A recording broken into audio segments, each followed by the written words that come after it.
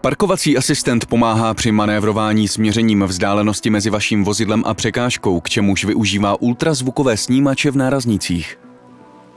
V závislosti na modelu vozidla systém detekuje překážky před vozidlem, za ním a vedle něj.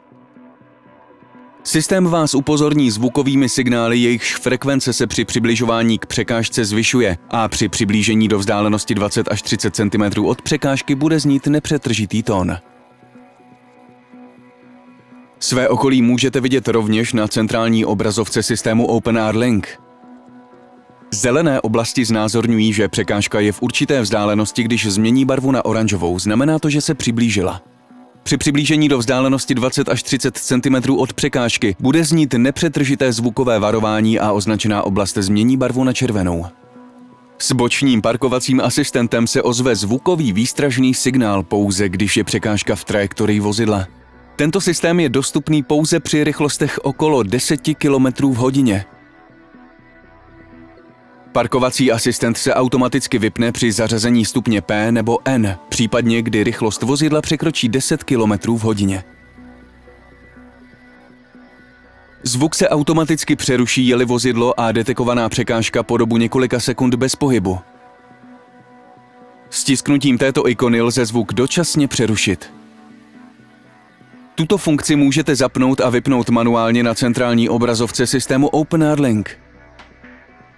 Přejděte do sekce vozidlo a vyberte možnost parkovací asistent. Nyní můžete vybrat, jaké zóny detekce překážky mají být zapnuty či vypnuty. Chcete-li nastavit hlasitost zvukové signalizace parkovacího asistenta nebo vybrat melodii, stiskněte možnost zvuk.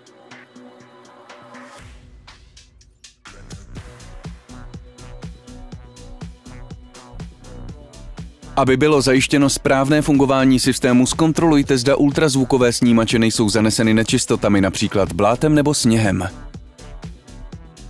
Doporučujeme vám také tuto funkci deaktivovat, pokud táhnete přívěs. Přívěs nebo tažné zařízení by totiž mohly překážet snímačům. Pokud systém signalizuje poruchu, ozve se speciální zvukový signál pokaždé, když zařadíte zpětný chod. Na přístrojové desce se zobrazí zpráva Zkontrolujte parkovací asistent. Kvůli vyřešení tohoto problému se obraťte na zástupce společnosti Renault. Uvědomte si také, že toto je pomocný systém a že nenahrazuje trvalou pozornost vás jako řidiče. Vždy si musíte dávat pozor na náhlé události, které by mohly nastat během provádění manévru.